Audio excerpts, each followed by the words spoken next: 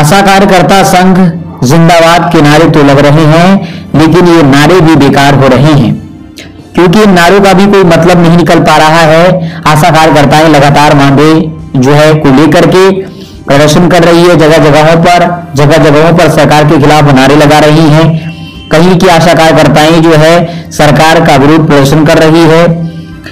कुछ लोग जो है, कुछ आशा कार्यकर्ताएँ अस्पतालों में जाकर प्रदर्शन कर रही है और कुछ राज्य की आशा कार्यकर्ताएँ जो है, सचिवालय में जाकर प्रदर्शन कर रही है, परंतु इन प्रदर्शनों का भी सरकार पर कोई भी प्रभाव नहीं पड़ रहा है। सरकार जो है, बिल्कुल मतलब अनसुनी कर रही है। आशा कार्यकर्ताओं को लेकर के जरा सा भी वो संवेदनशील नहीं है।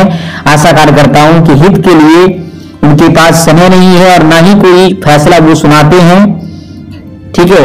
लेकिन आशा कार्यकर्ताएँ लगातार संघर्ष कर रही है, प्रदर्शन कर रही है, लेकिन उनको, उनका कोई लाभ नहीं मिल पा रहा है। किस प्रकार से आशा कार्यकर्ता मजबूर है, उसी प्रोत्साहन राशि में अपना जीवन यापन करने के लिए एक ऐसी प्रोत्साहन राशि जिस पर किसी का भी परिवार चलना मुश्किल है।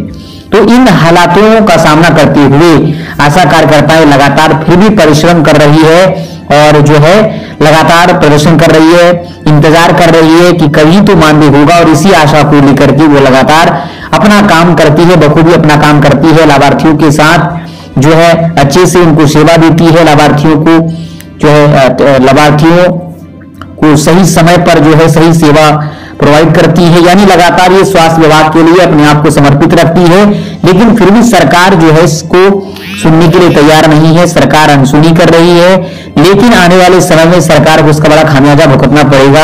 अगर चुनाव से पहले आशा कार्यकर्ताओं के हित से फैसला नहीं आया तो आने वाले चुनाव में सरकार को जो है इसका खामियाजा भुगतना पड़ेगा। कोई भी आशा कार्यकर्ताएँ जो है सरकार को वोट नहीं देंगी। चाहे कोई भी सरकार हो, कोई भी सरकार को वोट नहीं देंगी, क्योंकि सरकार जब जो है इन कर्मचारियों के काम ही नहीं आएँगे तो सरकार को वोट देने का क्या फ़ायदा?